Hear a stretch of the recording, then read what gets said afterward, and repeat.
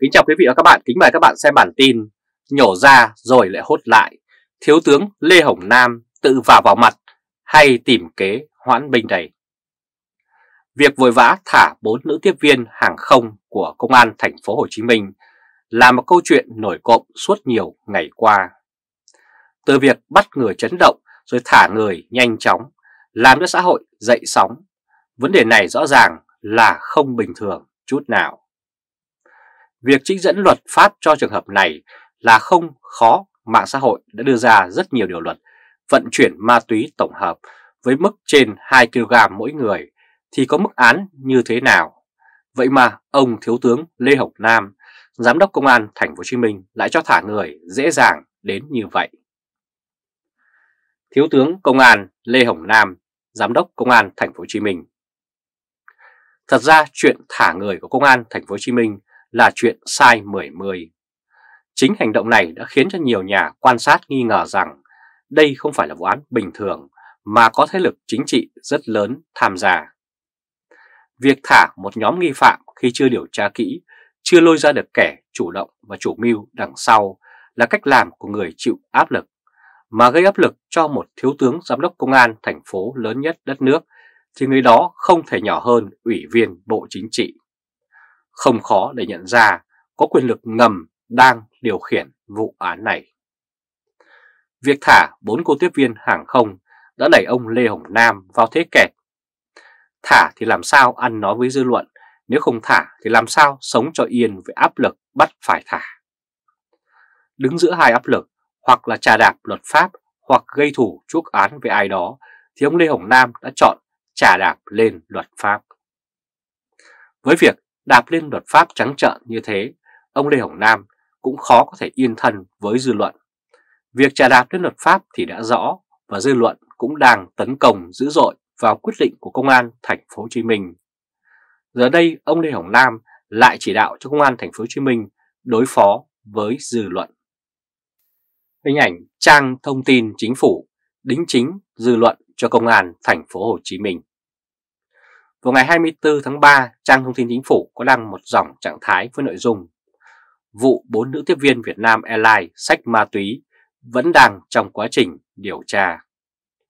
Được biết, người thông báo thông tin này là ông Thượng tá Lê Mạnh Hà, Phó trưởng phòng tham mưu Công an Thành phố Hồ Chí Minh. Đây là cách chữa cháy của Công an Thành phố Hồ Chí Minh trước dư luận. Điều đáng nói ở đây là trang thông tin chính phủ đăng lời thanh minh này. Điều đó cho thấy Trung ương đang giúp Công an Thành phố Hồ Chí Minh gỡ rối trước dư luận chứ không phải đúng như lời ông Lê Mạnh Hà đã nói. Hiện nay, bốn tiếp viên hàng không đã bị Vietnam Airlines cho nghỉ việc. Tuy nhiên, chuyện bốn nữ tiếp viên bị sa thải đấy không quan trọng, mà quan trọng là công an thành phố Hồ Chí Minh sẽ xử lý bốn người này như thế nào. Thái độ của bốn người này cũng có thể nói lên vấn đề của vụ án. Tội vận chuyển ma túy là tội rất nặng, có nguy cơ bị tử hình hơn nữa, trong vụ án này, số lượng ma túy đã vượt quá quy định. Nếu là một thường dân vận chuyển ma túy với khối lượng tương tự như thế, nếu được công an bắt và thả thì át họ sẽ tìm cách trốn đi. Vì biết đâu khi công an đổi ý thì bắt lại thì họ lại vướng vào trung thân hoặc tử hình thì sao? Còn nếu bốn tiếp viên này không bỏ trốn mà vẫn ung dung sống tại nhà của họ thì có thể nói họ tự tin với thế lực đang bảo kê cho mình. Đây là hành động bất bình thường của công an thành phố Hồ Chí Minh. Nếu ông Lê Hồng Nam cho bắt người trở lại, thì ông sẽ xóa được sự nghi ngờ của dư luận. Vậy thì tại sao ông Nam không bắt lại mà tiếp tục cho họ tại ngoại, rồi vụ án này có nguy cơ mất đổ mối nếu bốn nghi phạm này cao chạy xa bay. Thực ra, đây là vụ án rất bất bình thường. Hành động của công an thành phố Hồ Chí Minh trong những thời gian tới sẽ tiết lộ thêm về những uẩn khuất đằng sau vụ án.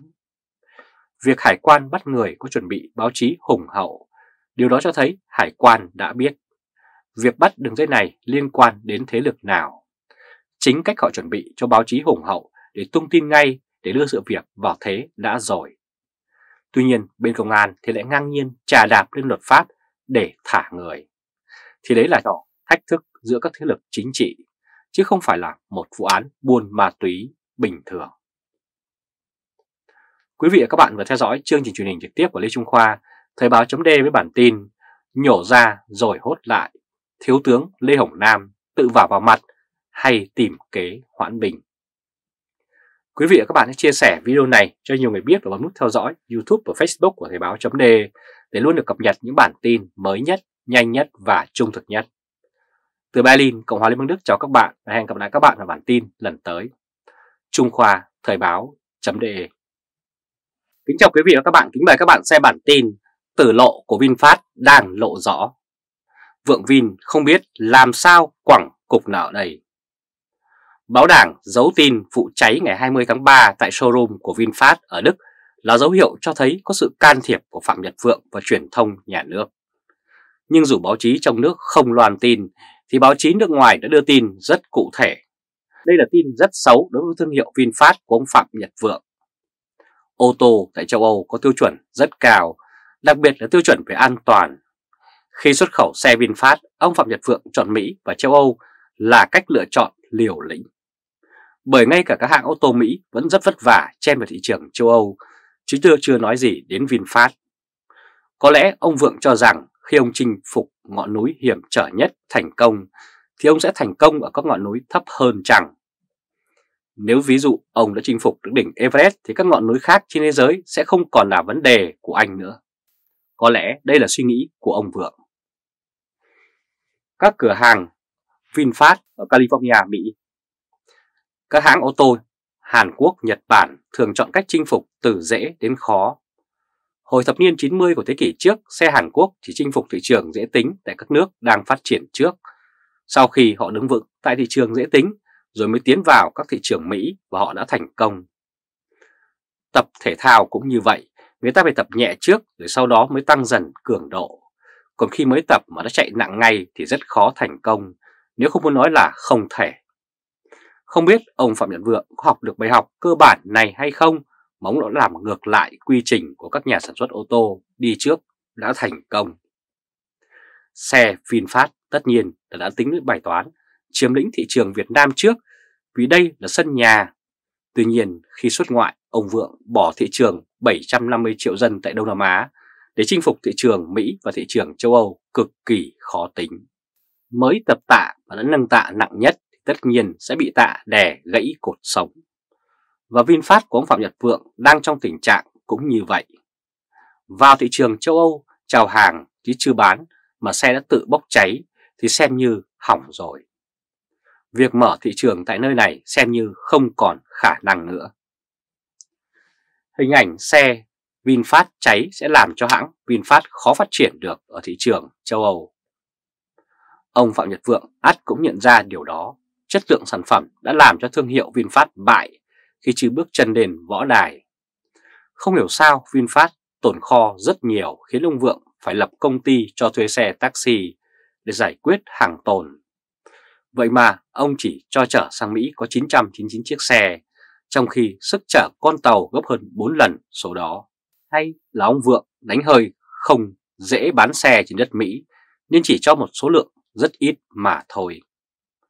Thị trường trong nước thì đang đào thải xe VinFast, thị trường thế giới thì không dung nạp xe VinFast. Vậy thì làm sao VinFast có thể sản xuất thêm được nữa, sản xuất để bán cho ai? Ngay cả thị trường Việt Nam là thị trường dễ tính, khách hàng dễ dụ mà ông Vượng còn không mở rộng thêm được thì làm sao ông có thể điều làm điều tương tự với những thị trường khó tính khác.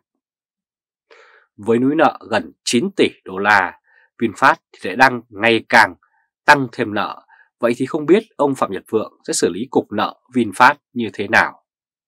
Bò thì thương, vương thì tội. Ông Phạm Nhật Vượng lúc này không thể bỏ VinFast và cũng không có cách nào giải được bài toán làm sao để VinFast làm ra lợi nhuận đầy. Và câu hỏi tiếp tục được đặt ra là liệu bài toán của ông Phạm Nhật Vượng lúc này là tồn tại hay phát triển? Thực ra các hãng xe lâu đời ở thị trường Việt Nam cũng đã không thể tăng tỷ lệ nội địa hóa. Điều đó cho thấy nguồn tài nguyên chất xám của Việt Nam không đạt. Ngành công nghiệp phụ trợ thì rất yếu.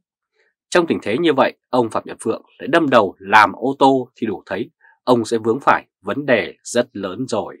Đa số phải đi nhập khẩu mà thôi. Có lẽ VinFast là chiếc thòng lọng, nó cứ ung dung đốt tiền của Vingroup, nó đốt cho đến khi nào Vin cạn tiền, và cả VinFast lẫn Vingroup cùng nhau sụp chung một lần.